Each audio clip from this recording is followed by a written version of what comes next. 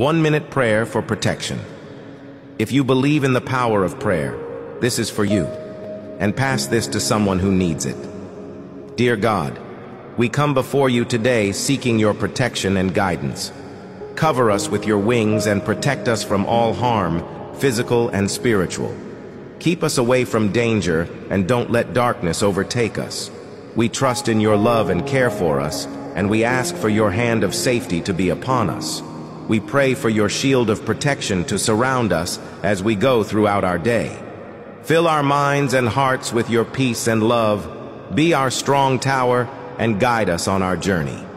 Thank you, Father, for your love and presence in all situations.